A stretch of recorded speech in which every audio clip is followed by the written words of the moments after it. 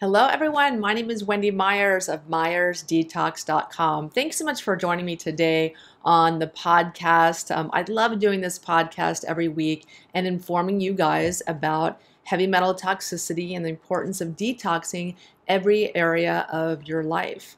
Today, we have my friend Julie Donaldson on the show, and we're going to be talking about estrogen dominance and estrogen toxicity.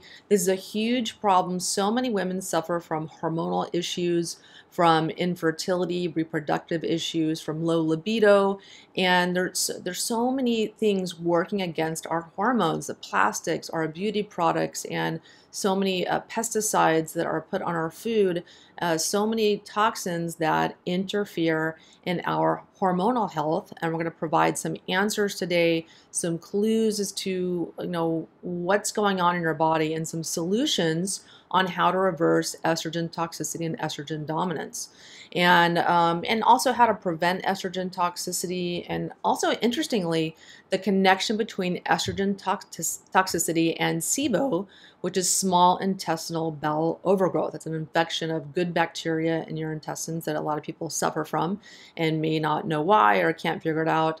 And we're going to talk about the difference between estrogen dominance and estrogen toxicity. Really, really good show today.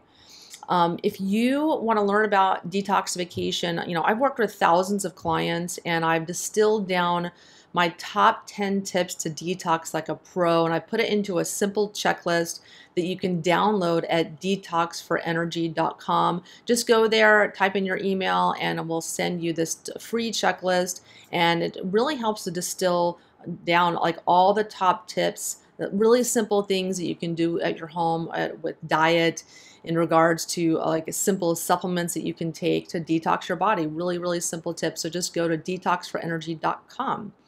And I'm so excited this week. I my friend Connie Zack at Sunlighten Sauna is sending me a new infrared sauna. Um, I have had one of their Sunlighten Saunas for a while, and it died on me because I used it so much. so they're sending me a brand new one. I'm so excited. I'm getting a three-person uh, Conquer. It's like eucalyptus wood and it's got like chromotherapy. It's like light therapy inside of it. And it's got sound therapy and it's so many amazing features that I, am so excited to use it. It's, it's called three in one. It's got near, mid, and far infrared technology in it and it pulses the infrared rays because it helps them to penetrate deeper into your skin and really maximize the detox effect.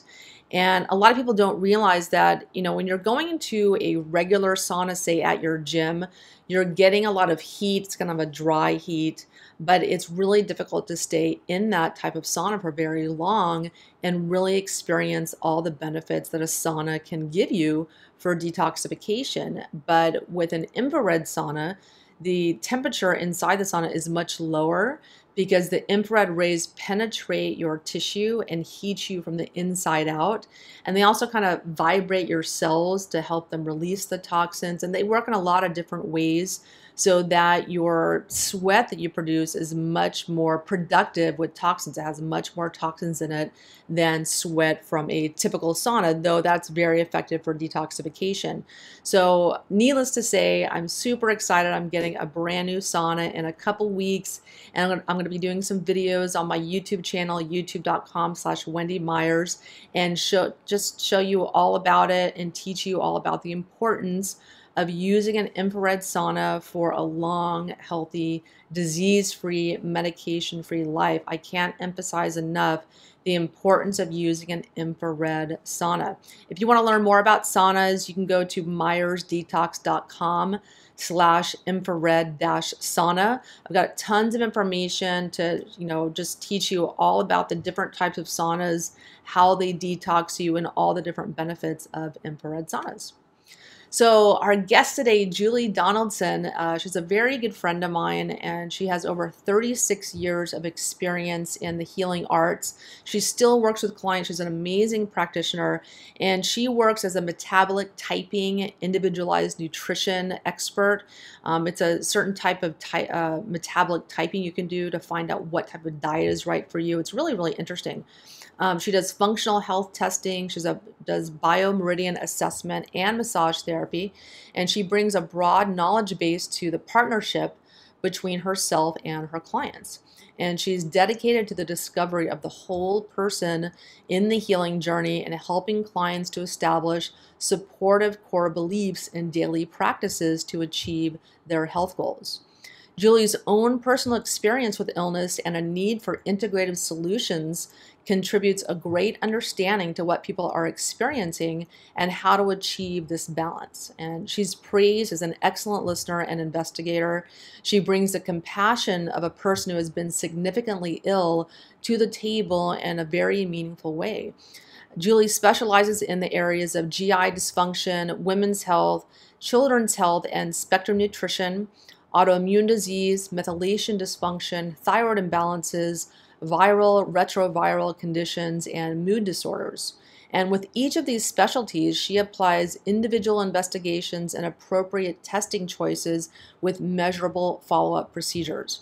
You can learn more about Julie at truenaturehealthconsulting.com. Julie, thank you so much for joining us on the podcast. Thank you, Wendy. I'm so happy to be here with you. Why don't we talk a little bit about uh, you know how you got into the health field? Absolutely, love always love to tell that story. Uh, kind of the uh, uh, wounded warrior story, if you will. Um, my uh, entry into the field came uh, it really honestly in two different ways. First, in, in my early 20s, I went through very um, closely packed and tragic deaths of three people very close in my life. And it uh, threw me into a tailspin of depression, inability to digest, inability to detoxify. Um, just uh, all of my systems were down.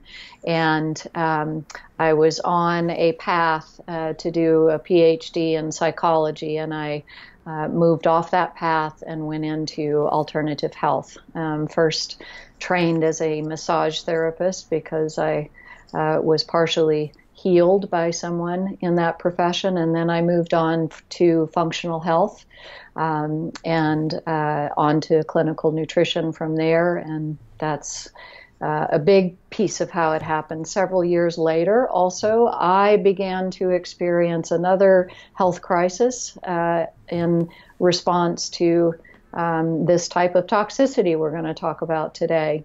Um, I grew up in um, Florida in the middle of citrus groves that were sprayed aerially every mm. other day. Mm. with intense pesticides. Um, I started to have a lot of hormonal issues, uh, very difficult uh, cycling and symptoms during my cycling, again, digestive issues.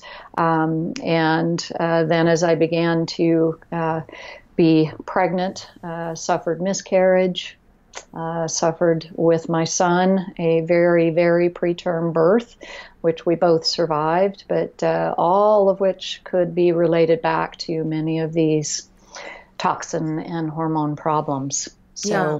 And that's what we're going to talk about today about estrogen and estrogen toxicity, estrogen dominance. And this is a very important topic. I did one podcast about this long, long, long, long time ago, many years ago. Um, but I really think it is uh, one of the more important topics of our time. I was just having a discussion today uh, with someone about that, about how all the pesticides, plastics, beauty products, so many things we're putting on and in our body are mimicking estrogen in our body, are causing you know, infertility issues, animals to be born hermaphrodites, you know, males suffering, having smaller testes, and right. um, there's a lot of, of health issues, cancers around estrogen dominance and estrogen toxicity. So let's talk a little bit about the difference between those two. Uh, talk sure. to me about the difference between estrogen dominance and estrogen toxicity? Right, and that's a great question because it is very frequently misunderstood. Uh, people assume that they come uh, packaged together, and they don't necessarily. Okay, dominance is um, essentially explained by excess. Okay, when they're and, and it's very much relative to the balance of all of the sex hormones in the body. So if there is way too much estrogen uh, in relationship to progesterone, testosterone, all of these other hormones, that's where we look at dominance. Okay, um, and there can be dominance uh, existing even in a state of deficiency. Okay, so someone who experiences deficient symptoms uh, can also be dominant. Yes. Because uh, again, it's a relative thing. Okay. Um, and and the difference is that in dominance there might still be proper metabolizing of the estrogen but uh, there's just too much of it. There's an excess of it. Okay. Whereas with toxicity, it is really an issue of those metabolites being broken down properly. Yes. Right. Um, so it's um, and these are fat soluble agonistic metabolites that are binding and aggressive. That is the that is the definition of agonistic. You know, they are they are problematic when they're not methylated. So we're really looking at is this a question of the body is producing too much estrogen and lots of different reasons for that as well. Um, or is it an issue of the body might be producing a normal amount of estrogen, but it is not detoxifying those metabolites properly? Yes. Okay? Right. Now, yeah. What are some of the symptoms of estrogen toxicity? Well, symptoms of either one can be very similar, um, although I would say with toxicity, um, there is a little bit less of the um, uh, menstrual related um, symptoms. In dominance, we see more of the breast tenderness, the moodiness. Moodiness can happen with either one. Um, but uh, headaches, um, toxicity, we see more headaches, we see more brain fog. Um, we see moodiness that is not necessarily connected to the cycle, it's more of a perpetual type of a thing. Um, difficulty with being around any type of aromatics, even sometimes the natural ones. Uh, people with toxicity will certainly respond negatively to perfumes and uh, chemical types uh, uh, uh, aromatics, but many of them also can respond negatively to natural ones as well. So, yeah. Yeah, and so let's talk about how estrogen toxicity happens. I mean, we know that there's so many uh, plastics, you know, there's pesticides, there are uh, beauty products. We're putting uh, parabens and other types of, um, you know, toxins, perfumes, or estrogenic. Uh, so many cl- cleaning products. Uh, talk to us a little bit more about uh, how exactly we become estrogen toxic. Yeah, great. Another great question. So, um, I want to back up for a minute because this this was a a, a major period of time in my functional practice where I began to notice these correlations. I used to uh, practice only in person, one on one with people with a system called BioMeridian, which is an, uh, uh, an electrodermal uh, testing system. And uh, time and time and time again, I was seeing these phenolic compounds coming up as issues in people's systems. Okay, and the the the relationship is between what you just mentioned, and I call them the uh, the three big P's, which are um, perfumes, uh, pesticides, plastics, okay, petrols of any kind, yes. really, petroleum based products of any kind, PAHs, BPAs, uh, all of these things that are um, related to uh, uh, or included uh, as petroleum. So, the interesting thing that I began to see is that um, phenolics have uh, all the same biochemical structure. And it doesn't matter if they are perfumes, including natural aromatics, or they are petrol based products, pesticides, plastics, hormones, and foods. There are many foods that are in the phenolic uh, category as well. Uh, lots of the uh, browning fruits, lots of the darker fruits, chocolate, coffee, um, alcohol. Uh, these are all phenolic compounds. So, given the world that we live in, and this this was really where I began this observation 20 plus years ago, um, and uh, understood that what's what what ends up happening is we get mistaken identity. You know, there all of these other things are flooding the body, and they're using the same receptor sites as the hormones. Okay, so what happens is the brain is saying, I don't have enough estrogen. Um, because it's not locked on to the receptor site. Something petroleum based or other type of phenol based may be locked on to that receptor site, okay? And or a person is potentially also dealing with poor detoxification of those elements, right? So they don't move out of the body, they stay and they're taking up space. And um, the estrogen is not making it where it needs to go. And estrogens are, are critical, they're, they're very important to lots of different functions in the body, including in the gut, which we'll uh, talk about uh, in relationship to the SIBO. So I began to note that many people were struggling with this. And uh, in a time clearly when we're watching toxins just go off the charts, right? Mm-hmm and also in a time where hormone replacement is becoming very popular. and um, yeah, because people's hormones are, are, not in a state of balance, they are experiencing these symptoms, and it became sort of the new fad to address that uh, through replacement, right? Yes. So people become toxic, uh, also weight gain is a huge deal here, okay? Estrogen toxicity and estrogen dominance as well are both fed by excess weight and fat. Okay? Yes. Yeah, because so, fat actively produces estrogen, correct? Yes, exactly. Um, and if you are just producing too much estrogen, as likewise, uh, I know this is a, a topic very close to your heart. If you are toxic, period, your body is going to collect fat as well, okay? Because we are, um, it, it's a safe haven for for those toxins, right?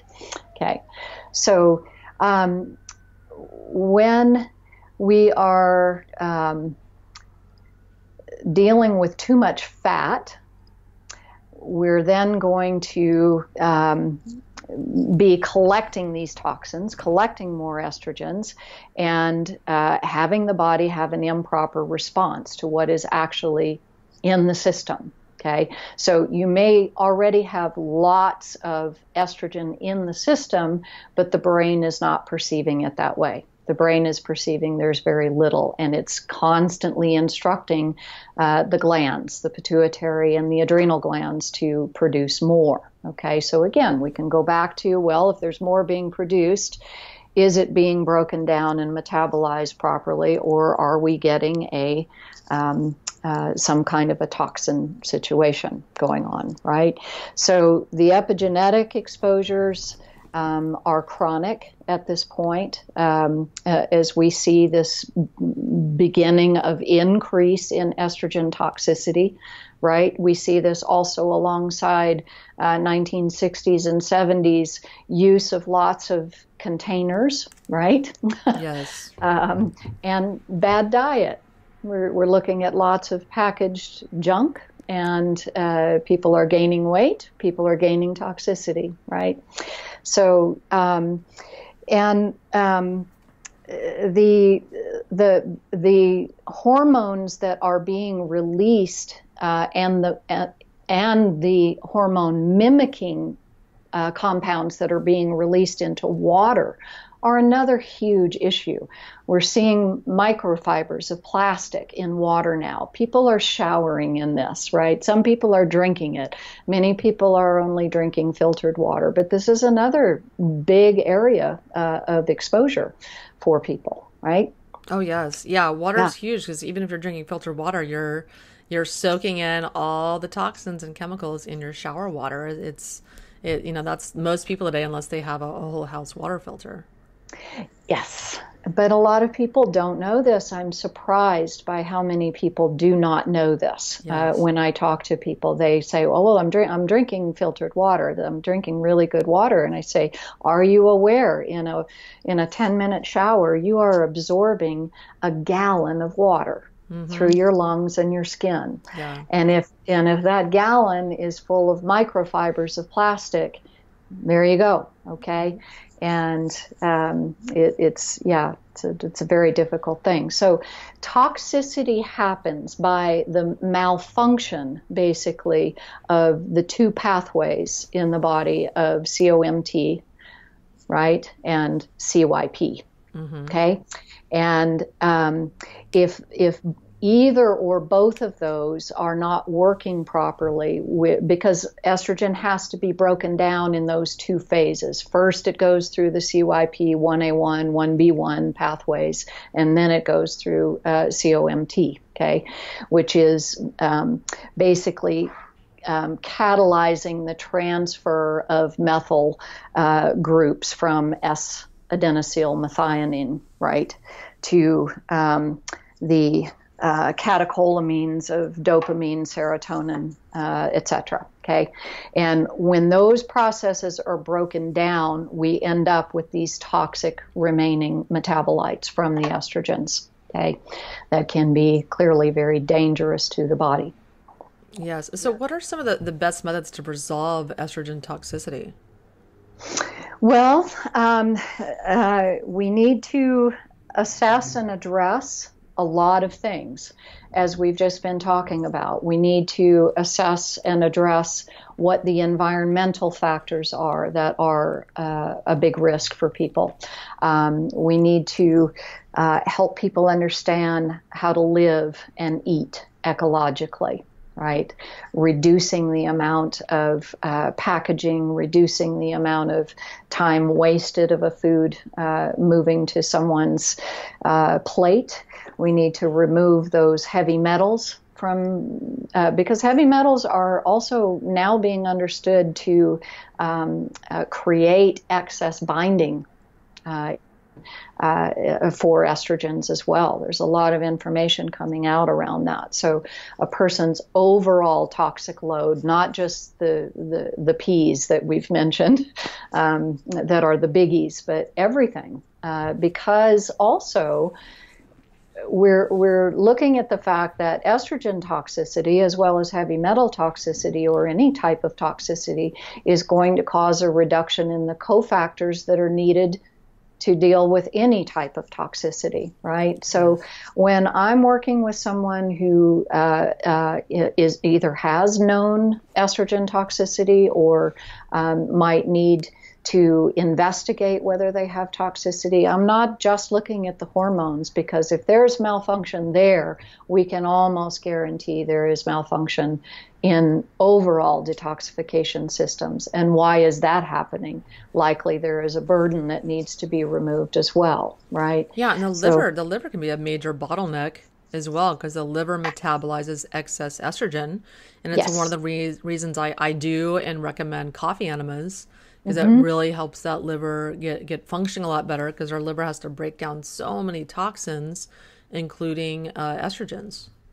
Exactly. Yes, and gallbladder as well. Mm-hmm. Okay, and this is a this is another thing that I work really hard to help people understand that it uh, you know, and I know you know this with your work as well that lots of people are about oh let's do a liver cleanse, and uh, if you are hormone toxic, very bad idea. Mm. Very bad idea. Mm-hmm. There are certain things you can use to support yourself safely, but if your if your methylation pathways and or your excretion functions are not working, and I don't just mean eliminating. I, I mean actually uh, the body uh, through that particular phase of detoxification being able to get a toxin out of the bowel, okay, many times they are reabsorbed. And this is a big issue. And this is where coffee enemas and other types of supports are really amazing uh, to help the body,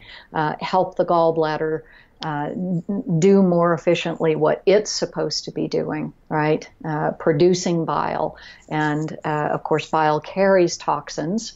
So great, we we encourage the production of the bile. We also have to look at is the bile um, and what it brings each time a person eats. Is it actually being emptied?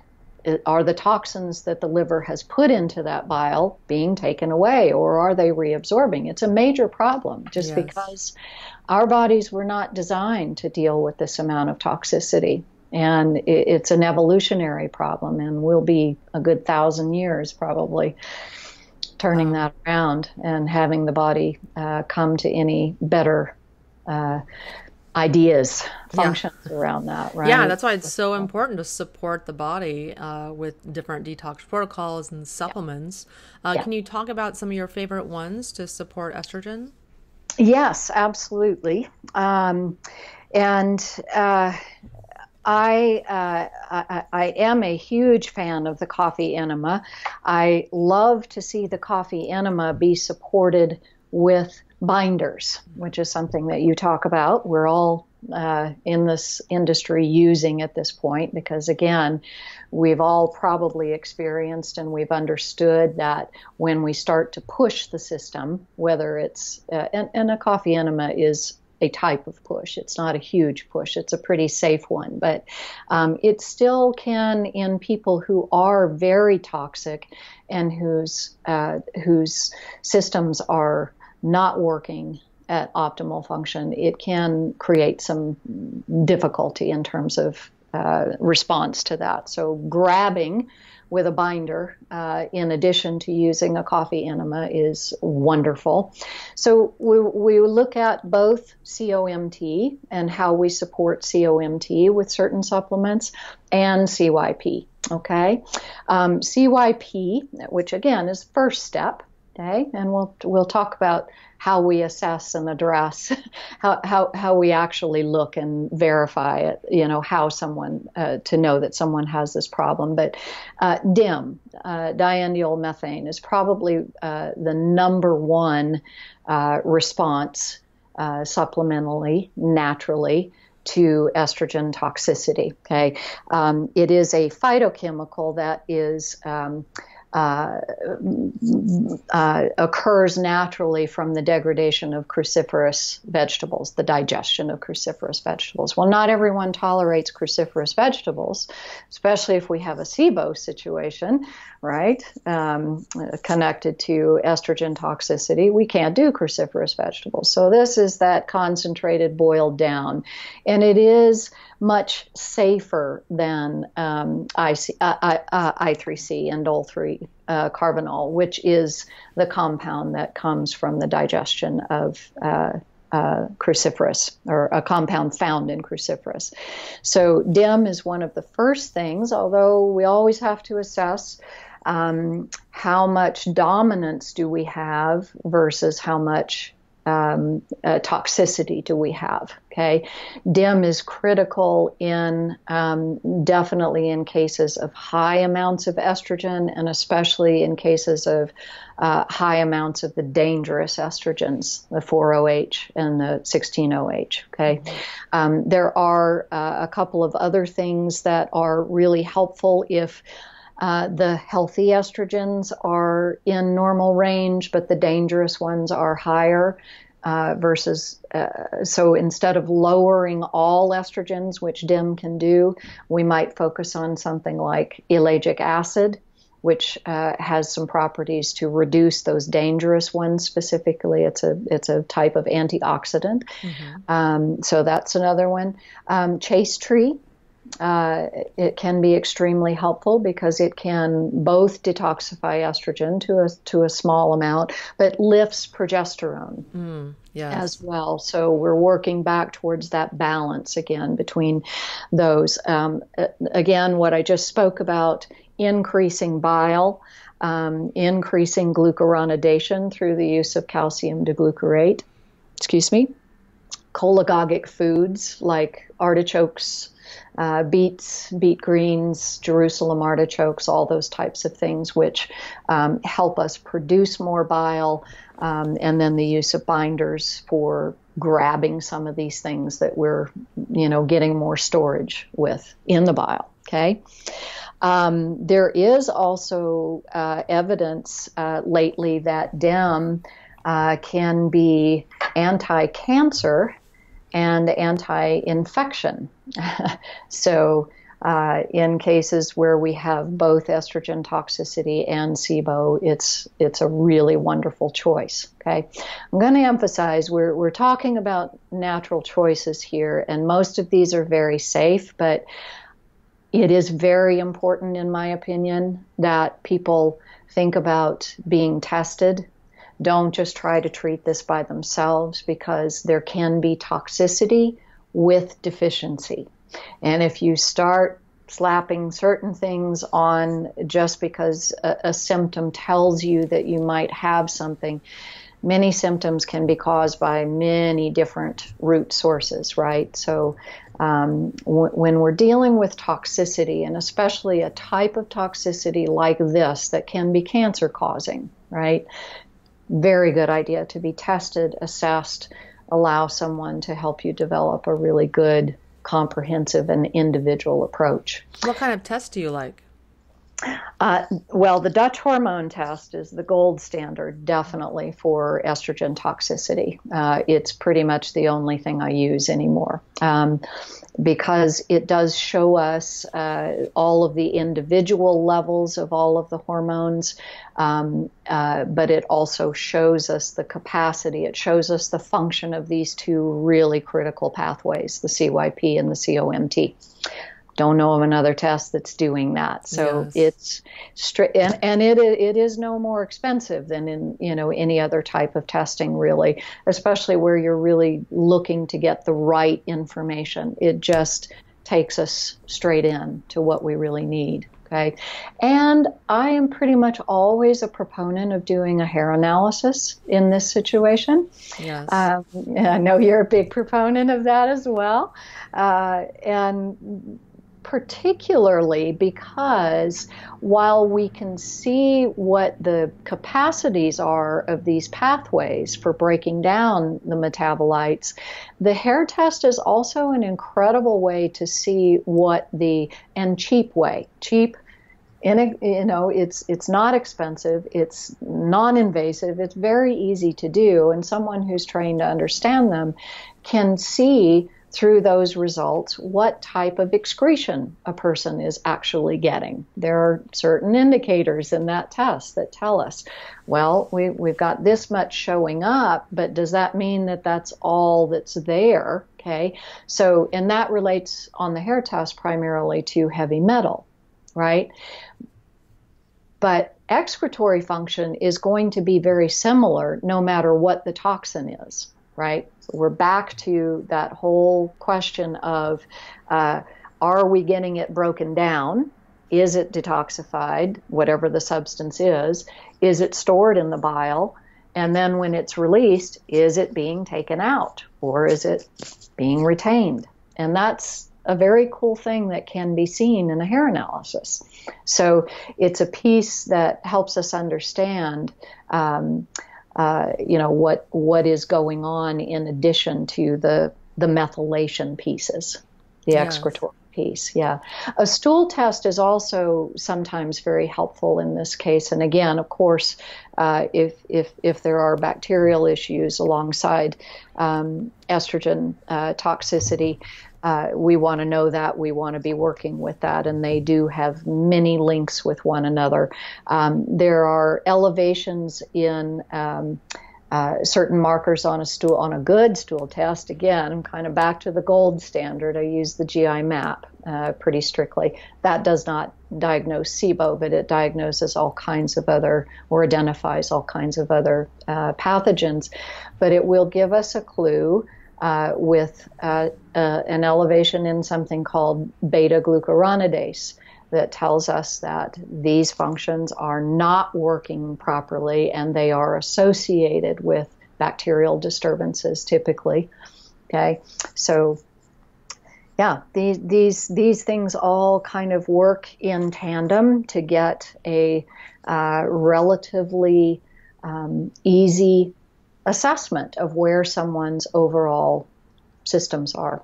Okay, yeah. And let's talk a little bit about the connection between estrogen toxicity and SIBO. Okay. You've mentioned SIBO a few times. Tell us, you know, for anyone that doesn't know what that is, what exactly is SIBO and what's the connection there? Yeah, well, SIBO is uh, the increase in both uh, types and numbers of bacteria in the small intestine, uh, which is uh, under normal circumstances sterile. Okay, uh, and these are bacteria that have unfortunately arrived in the small intestine from the large intestine, which is where they belong and where the colonies are uh, in numbers to fight anything that is pathogenic and not helpful, right? Um, uh, commensal or uh, dangerous in any way. Um, why does this happen? Is is the question? Um, in my opinion. And again, this is something that I have been developing in clinical practice for many years now, and it all started with observation. I think that one of the big issues is uh, we know that uh, the ileocecal valve uh, is what's allowing that bacteria to come back up from the large intestine into the small intestine where it does not belong. Okay, um, I personally think that the valve gets damaged by toxicity. Hmm. Okay? Round and round and round and round it goes, and we are, you know, we we know this on many other levels with uh, heavy metals and all kinds of other things that they damage tissue, right? Uh, they damage joints, and the um, th- these tissues in the gut are very, very vulnerable. Okay, uh, the the the barriers are thin. They're um, delicate and, uh, again, not made for the types of onslaught that we are having. Okay, so I do feel that that is one contributing factor. Other contributing factors uh, are that um, in, in in both of these cases we have um, uh, we have oxidative stress going on Okay, uh, there, there's a lot of connection in SIBO with high oxidative stress through the increase in cytokines that happens and decreases in antioxidants. Again, we talked about no matter what uh, we were talking about toxicity. Now I'm equating it with this particular bacterial problem. We see the same thing. We see reduction in glutathione.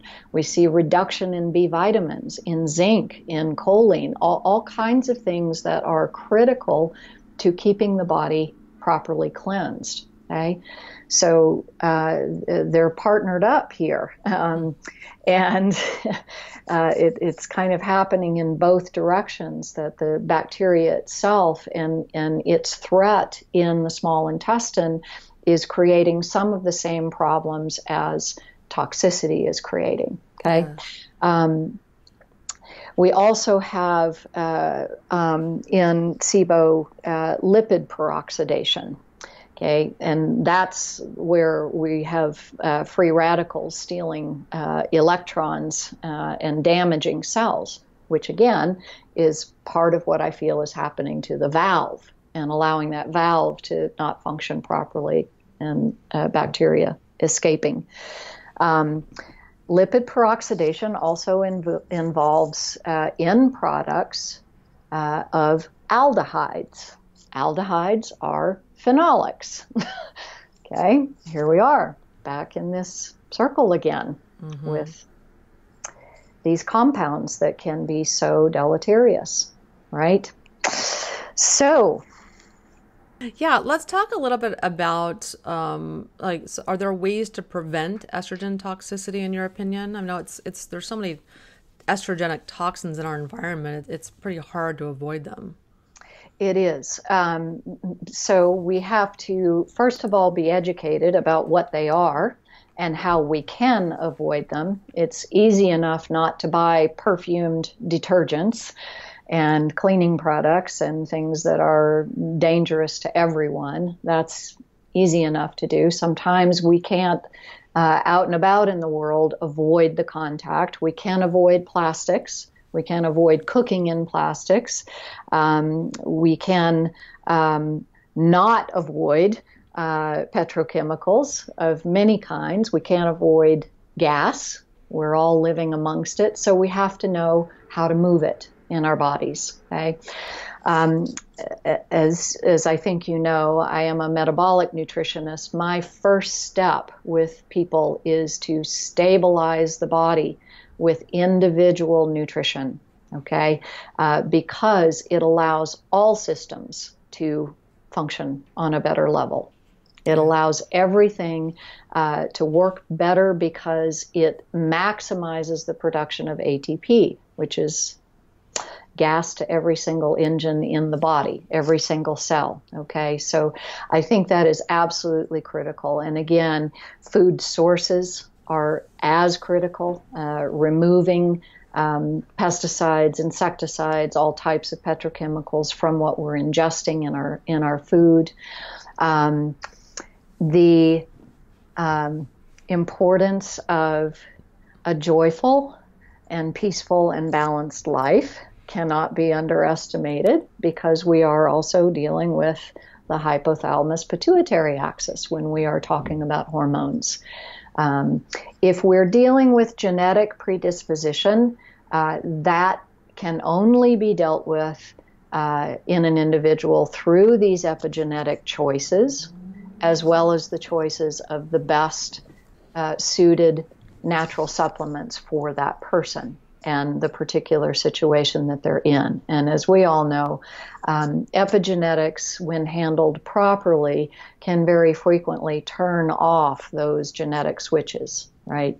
Um, and uh, have things be running more smoothly.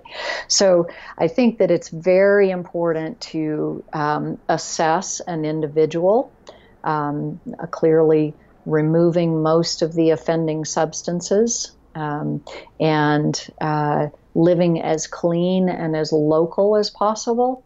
Uh, when we travel, it's important to do additional things because there are many additional exposures in airplane travel and long distance car travel that add to the burden. So there can be some separate protocols that uh, help people along those lines, many of which you talk about. Um, just used more regularly or um, in greater quantity because of uh, the exposure that's happening during that time. Yes. Yeah, let's talk a little bit about hormone replacement. So, what are your thoughts on the safety of bioidentical hormone replacement, and do, would you ever recommend that? Um, I rarely recommend it because I rarely find it necessary. Okay, there are certain situations. There is some very fascinating um, stuff coming out about the use of uh, in, in certain situations that involve great toxicity, mitochondrial damage, uh, those those types of very complicated sets uh, of pregnenolone uh, in in uh, certain types of suspensions being extremely helpful. Okay, I never say never. I never say always, um, but. Um, uh, obviously, synthetic hormones are just n- not a good idea because they all lift estrogen reception, all of them. Doesn't matter what which one it is. Doesn't have to just be estrogen. But when I do use bioidentical hormones, it's very short term, okay? And it's primarily uh, to help a person who's just so symptomatic, so unhappy with where they sit, that we can get some short term support while we work underneath. Yes. To, to, to correct all of the metabolics, all of the glandular function, moving the toxins, because this all takes time. Yes, right? it does. Mm-hmm. Yeah. Yeah, I'm all for band aids too. Uh, it's, it's symptomatic relief while you're working on yeah. the metabolism and detoxification because, like you said, it does take time and people just want to feel better. And I think there's nothing wrong with that, you no. know, in the interim. I don't either. I don't either. And it's a case by case kind of a thing. In some cases, uh, it's going to contribute to the problem potentially. So I just have to assess that carefully. But um, it, it's really interesting also that uh, during that time I mentioned where I was uh, functioning primarily with uh, people one on one, face to face, and using the uh, physical assessment system many of my clients were women in their 40s and 50s experiencing hormonal changes and had gone for bioidentical hormone replacement because it became very popular uh, during those years. And every single one of them said the same thing. It worked for three months, maybe up to six months, mm. and then it just quit working. I felt I felt the same as I did before, or I felt worse. There is a reason for that. Okay, yes. so that's where I caution people against seeing that as as really a, a solution. Yes, it, yeah. it, it is a great bridge in many cases. Yeah. Why don't you tell the listeners where they can uh, learn more about you and how they can work with you? Sure, love to. Um, I am at uh, truenaturehealthconsulting.com. And um, I uh, love working with this situation. I love working with toxicity and overall metabolic improvement, period. I support everything Wendy is talking about these days. and uh, yeah. Fantastic. Well, thank you so much, Julie, for coming on the show and talking to us about this very, very important subject estrogens and xenoestrogens. Estrogen mimicking toxins are everywhere in our environment, and we need to have awareness around them and prevent, you know, or stop from them from, you know, putting them in our body. Uh, so, right. thank you so much for talking to us about this subject. Thank you. And thanks for all you're doing too, Wendy. Yeah, thank you. And everyone, mm-hmm. thank you so much for tuning in today to the podcast. Uh, please go on iTunes and take a couple seconds to leave a review. I would appreciate it so, so much. And you can learn more about me and learn, you know, I have 250 podcasts. I have hundreds of articles on my website on myersdetox.com. And also, if you want to learn about all my top 10 tips to detox like a pro, you can download my free checklist at Detox for Energy energy.com. Thanks so mm-hmm. much for tuning in.